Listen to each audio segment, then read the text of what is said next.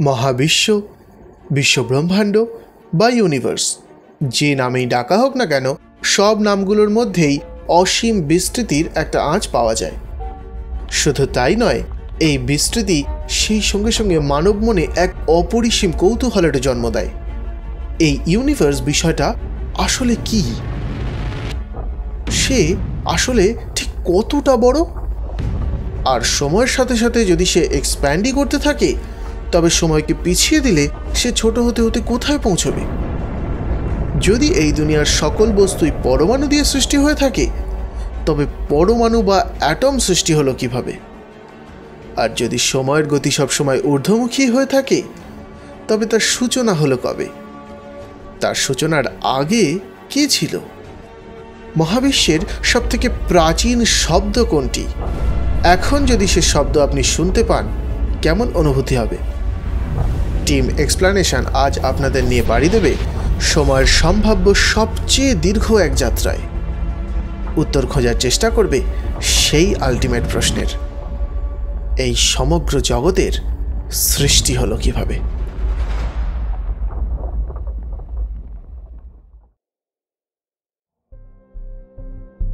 Well, শুরুতেই বলে রাখা ভালো, এই ইউনিভার্সের প্রকৃত চেহারা বা আকার আকৃতি ঠিক কেমন, সেই সম্পর্কে হান্ড্রেড পার্সেন্ট নিশ্চিত হয়ে বলা এখনই সম্ভব নয়। কিংবা এই সম্পর্কে এখনও জানার অবকাশ নেই বললেও চলে।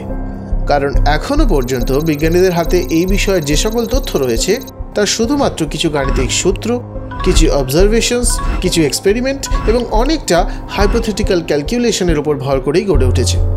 আর বিজ্ঞানীদের এই যুক্তিভিত্তিক অনুমান অনুসারে আমাদের চারপাশের সকল বস্তুর উৎপত্তি সম্পর্কে জানতে হলে আমাদেরকে অনেকটা পিছিয়ে পৌঁছে যেতে হবে ঠিক সেই সময়টায়, যখন সময়ের কোনো অস্তিত্ব ছিল না, যার কিছুক্ষণ পরেই সূচনা হতে চলেছে এই মহাসৃষ্টিযজ্ঞের আজ থেকে প্রায় thirteen point seven nine nine zero two one billion বছর আগে। And at the time there was nothing কিচ্ছু ছিল না। না তো স্পেস না তো টাইম আর না তো লাইট কিন্তু তারপরই হঠাৎ একটা ছোট্ট আলোর বিন্দু দপ করে জ্বলে উঠল। অত্যন্ত উত্তপ্ত এই আলোক বিন্দুটার মধ্যেই নিহিত রয়েছে এই ইউনিভার্সের যাবতীয় রসদ, সমগ্র স্পেস আর সকল ম্যাটার সেই থেকেই কসমিক ক্লক টিকটিক করে উঠল। ছুটতে শুরু করল সময়। আর স্পেস সে শুরু করল তার এই মহাজাগতিক এক্সপ্যানশন আর এটাই ছিল literally the beginning of time the beginning of everything সমস্ত কিছুর সূচনা।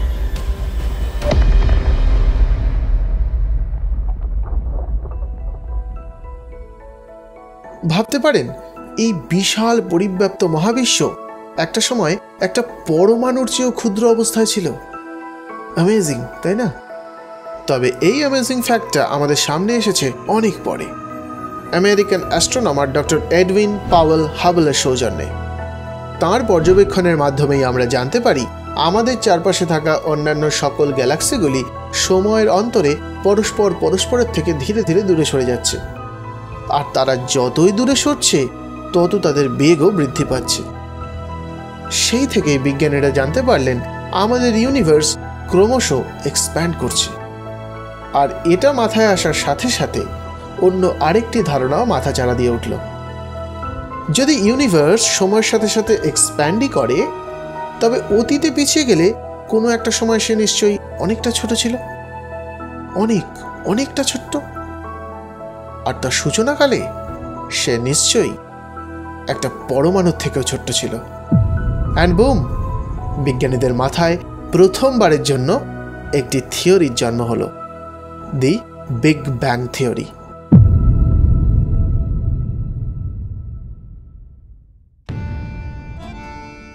অনেকে মনে করেন বিগ ব্যাং থিওরিটা ইউনিভার্সের সূচনাকে ডিফাইন করে। এটা কিন্তু ভুল। থিওরিটিক্যাল অ্যাস্ট্রোফিজিসিস্ট ডেভিড স্পার্গলের বক্তব্য অনুসারে The Big Bang Theory is not really a theory of how the universe began. It's really a theory of how the universe evolved.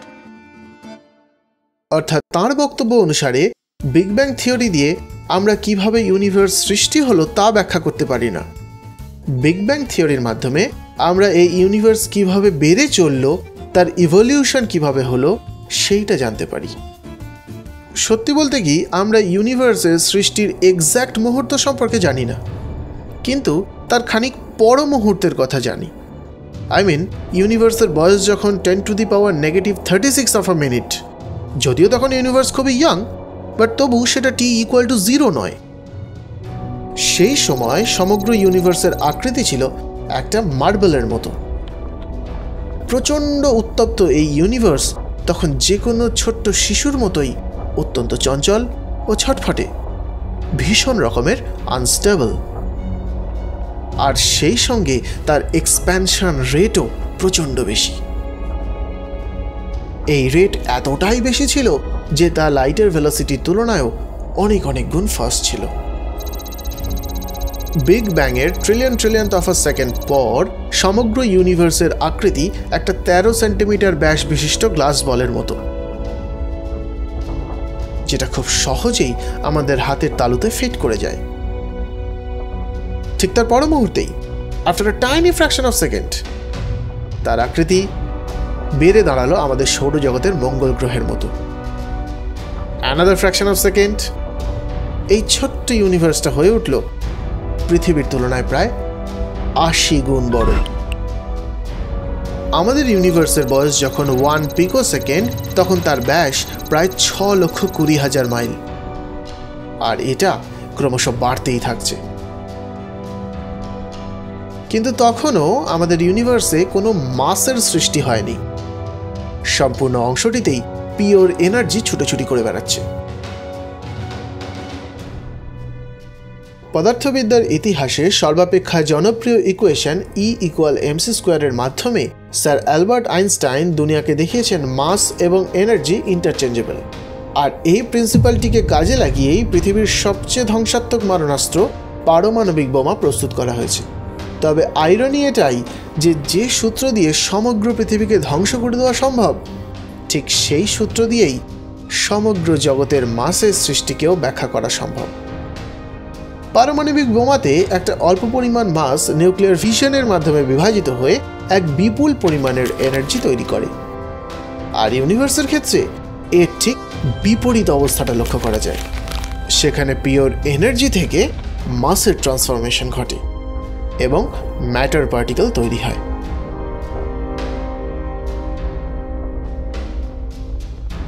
But এক্ষেত্রে একটা সমস্যাও সৃষ্টি হলো। ইউনিভার্স ম্যাটার তো তৈরি করলই, কিন্তু তার সাথে সাথে তার এক চিরশত্রুরও জন্ম দিল, দি অ্যান্টি ম্যাটার এই অ্যান্টি ম্যাটার বিষয়টি ঠিক কী, তা সহজভাবে বললে বলা যায়, কোনো একটা ম্যাটার যে সকল পার্টিকেল দিয়ে তৈরি হবে, তার অ্যান্টি ম্যাটার ঠিক তার অ্যান্টি পার্টিকেল দিয়ে তৈরি হবে। অর্থাৎ কোনো ম্যাটার এবং তার অ্যান্টি ম্যাটারের মাস এবং চার্জ বা আধানের ম্যাগনিটিউড ভ্যালুটা সেম হবে। শুধুমাত্র আধানের প্রকৃতি হবে বিপরীত। যেমন ধরুন, একটি সাধারণ হাইড্রোজেন পরমাণু বা প্রোটিয়ামে একটি পজিটিভলি চার্জড প্রোটন এবং একটি নেগেটিভলি চার্জড ইলেকট্রন পার্টিকেল বর্তমান।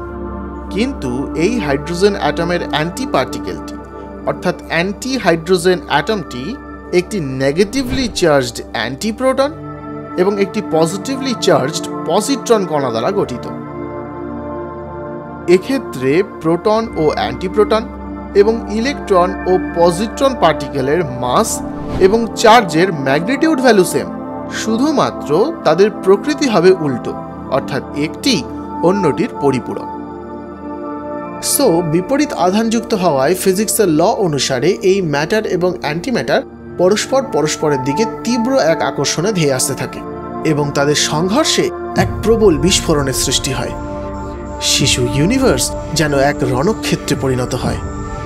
আর এই সংঘর্ষের ফলেই পুনরায় সকল ম্যাটার এবং অ্যান্টিম্যাটার ক্রমশ ধ্বংস হয়ে আবার এনার্জিতে ট্রান্সফর্মড হতে থাকে।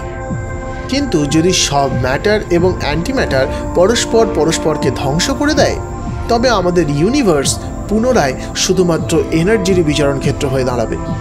সেখানে না তো কোনো গ্যালাক্সি তৈরি হবে, আর না তো হবে কোনো গ্রহ বা নক্ষত্রের উদ্ভব। আর কোনো গ্রহ না থাকলে প্রাণের কথা তো ছেড়েই দিলাম। তবে ইন্টারেস্টিংলি এখানেই একটা ছোট্ট অসামঞ্জস্যতা লক্ষ্য করা যায়। একটা ছোট্ট ইমব্যালেন্স যা সমগ্র সৃষ্টির পরিত্রাতা হয়ে দাঁড়াল। এই ইউনিভার্স যখন ম্যাটার এবং অ্যান্টিম্যাটার সৃষ্টি করছিল, তখন প্রতি ওয়ান হান্ড্রেড মিলিয়ন পার্টিকেল অ্যান্টিম্যাটারের জন্য one hundred million and one particle of matter সৃষ্টি হয়েছিল। ফলে প্রতি two hundred million particle of matter এবং অ্যান্টিম্যাটারের ভলিউমে একটি করে ম্যাটার পার্টিকেল এক্সট্রা যে ম্যাটার পার্টিকেলটিকে অ্যানাইহেলেট করার জন্য কোনো অ্যান্টিম্যাটার পার্টিকেল অবশিষ্ট ছিল না।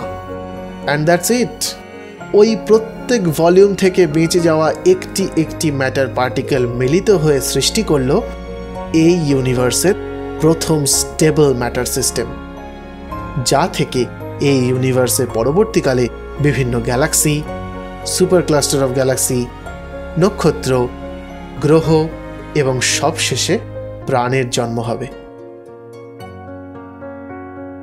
তবে সদ্যজাত ইউনিভার্সের এই ম্যাটার এবং অ্যান্টিম্যাটারের কলিশনের কথা আমরা জানতেই পারতাম না, যদি না দু হাজার সালে ব্রুক হেভেন ন্যাশনাল ল্যাবরেটরির তরফ থেকে রিলেটিভিস্টিক হেভি আয়ন কলাইডার বা শর্টে রিক এক্সপেরিমেন্টটি করা হতো।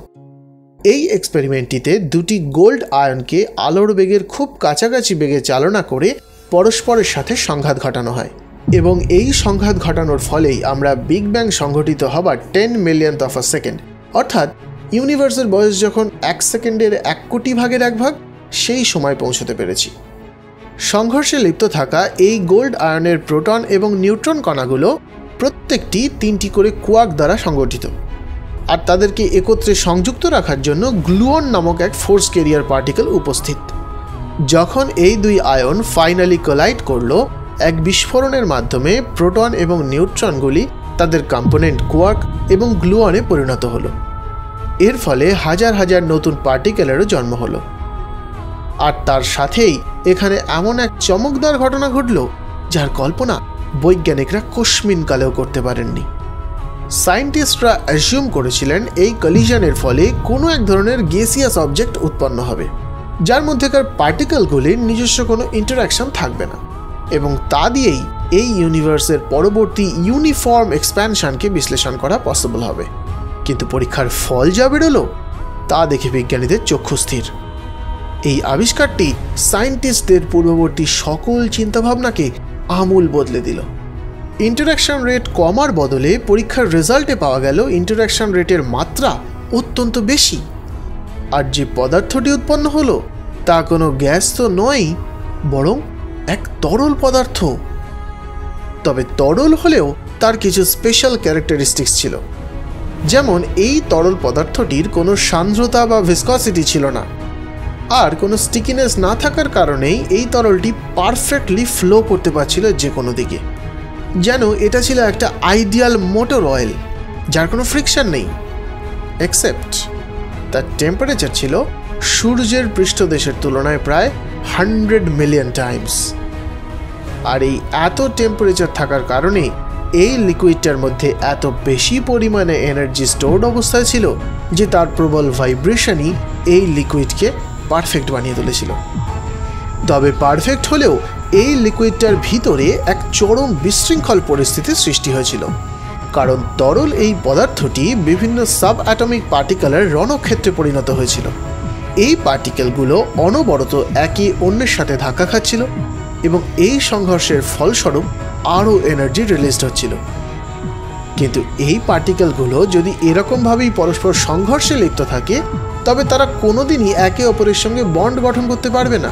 আর এই সাব অ্যাটমিক পার্টিকেলগুলোর মধ্যে কোনো ইন্টারনাল বন্ডিং তৈরি না হলে কখনোই অ্যাটম জন্মাবে না এবং এই ইউনিভার্সে কোনোদিন কোনো ফিজিক্যাল অবজেক্টের সৃষ্টি হবে না। তবে এত সব কিছুর মধ্যেও ইউনিভার্স কিন্তু ক্রমশ বিস্তৃত হয়েই চলেছে। তার বয়স যখন এক সেকেন্ডের দশ লক্ষ ভাগের এক ভাগ, তখন তার সাইজ একটি অ্যাটম থেকে পরিবর্তিত হয়ে আমাদের সোলার সিস্টেমের প্রায় আট গুণ বড় হয়ে উঠেছে। এখন তার ব্যাস প্রায় সিক্সটি বিলিয়ন মাইলস। আর উষ্ণতা প্রায় এইটিন ট্রিলিয়ন ডিগ্রি ফ্যারেনহাইট। তবে সময়ের সাথে সাথে ইউনিভার্সের বিস্তৃতি যত বাড়ছে, তার অস্থিরতাও তত কমছে।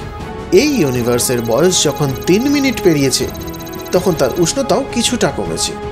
প্রায় ten to the power nine kelvin বা one point eight billion degree Fahrenheit এই সময় ধীরে ধীরে সাব অ্যাটমিক পার্টিকেল অর্থাৎ প্রোটন এবং নিউট্রনগুলি শান্ত হয়ে পরস্পর পরস্পরের সঙ্গে যুক্ত হতে শুরু করল। আর এই সংযুক্তিকরণের মাধ্যমেই ইউনিভার্সের প্রথম অ্যাটমিক নিউক্লিয়াইয়ের জন্ম হলো। আমাদের অতি পরিচিত হাইড্রোজেন এবং হেলিয়াম তবে তাদেরকে এখনও সম্পূর্ণরূপে অ্যাটম বলা পসিবল নয়। কারণ তারা এখনও স্টেবিলিটি পায়নি।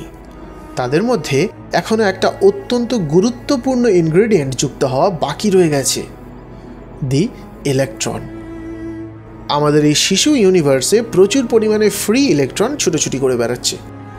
কিন্তু তাদের টেম্পারেচার এবং এনার্জি এতটাই বেশি যে সেই ভাইব্রেশনের কারণে তারা এখনও অত্যন্ত দ্রুত গতিতে মুভ করছে। তারা এখনও সংশ্লিষ্ট হাইড্রোজেন এবং হিলিয়াম আয়নের সঙ্গে সংযুক্ত হয়ে পরমাণু গঠন করার উপযুক্ত হয়নি। তাদের উপযুক্ত হতে এখনও অনেকটা সময় লাগবে। অনেকটা মানে সত্যিই অনেকটা। ইনফ্যাক্ট প্রায় চার লক্ষ বছর সময় লাগবে। এই ইউনিভার্সের বয়স এখন তিন লক্ষ আশি হাজার বছর। তার বিস্তৃতি প্রায় ছিয়াশি মিলিয়ন আলোকবর্ষ। আর তার টেম্পারেচার এখন অনেকটাই কমে গেছে।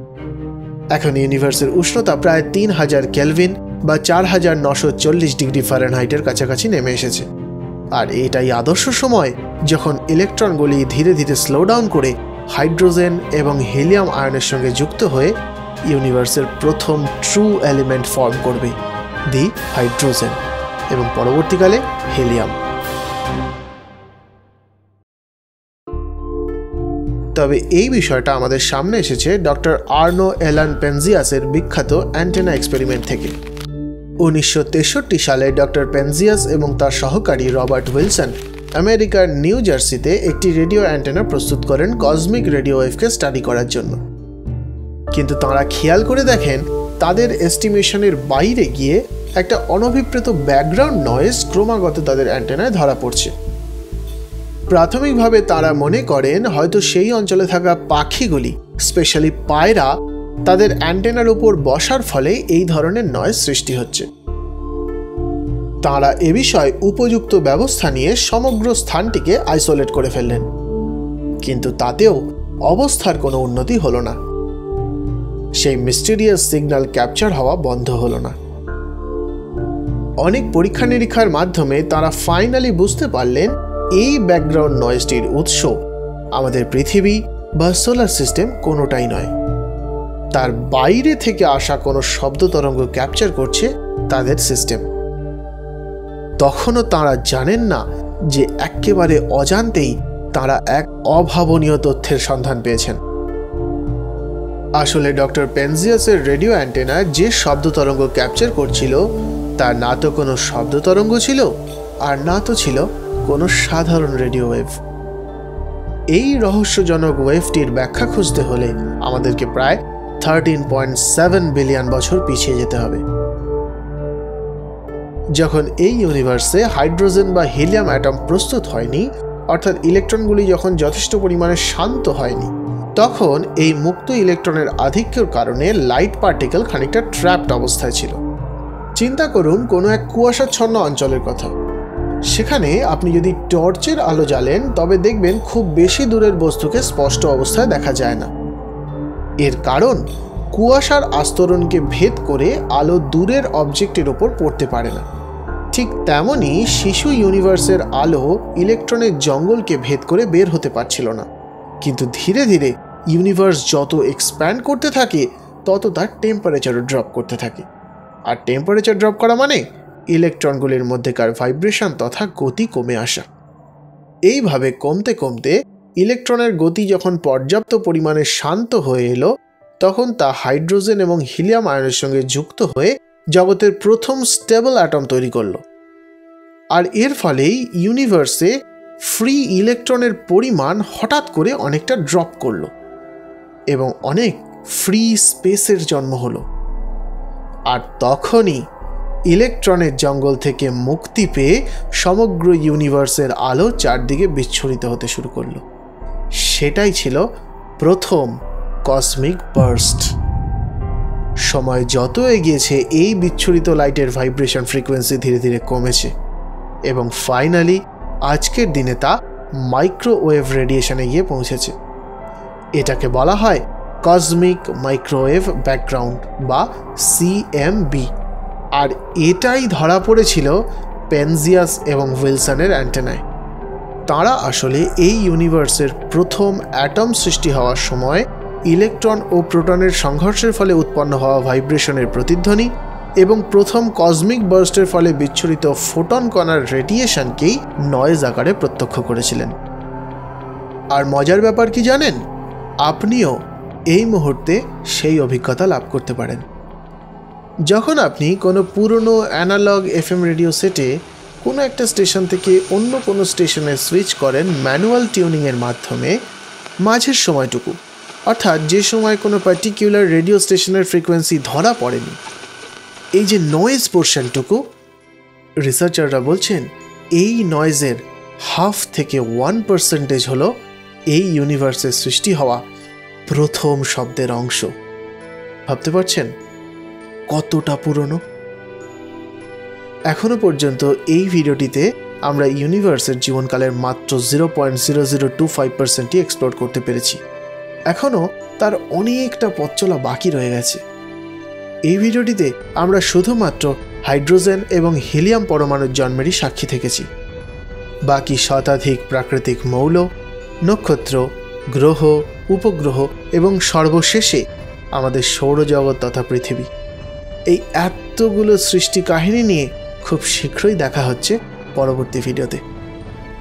তবে যাওয়ার আগে একটা শেষ ইনফরমেশন দিয়ে যাই। যদি পুরনো দিনের ক্যাথোড রে টিউব টিভি সেটগুলির কথা কল্পনা করেন, যখন আজকের মতো ডিজিটাল সেটটপ বক্স সিস্টেম ছিল না, সেই সময় যখন কেবল কানেকশন কোনোভাবে ডিসরাপ্টেড হতো, তখন এই যে বিরক্তিকর মুহূর্তটা কাটাতেন কতক্ষণে কানেকশন রিবিল্ড হবে তার অপেক্ষা করতেন? আপনি হয়তো জানতেও পারেননি, আপনার একাকিত্ব কাটাতে প্রযুক্তি আপনাকে দুনিয়ার সর্বোত্তম চলচ্চিত্র হিসেবে বিশ্বব্রহ্মাণ্ড সৃষ্টির কিছু দুর্লভ মুহূর্ত অনবরত উপহার দিয়ে গেছে। সো সবসময় চোখ কান খোলা রাখুন। হয়তো আপনারই আশেপাশে এমন কিছু ঘটছে যা অত্যন্ত সাধারণ মনে হলেও আসলে অতি অসাধারণ। অ্যান্ড অ্যাজ অলওয়েজ এতক্ষণ ধরে ভিডিওটি দেখার জন্য আপনাকে আরও একবার অনেক অনেক ধন্যবাদ।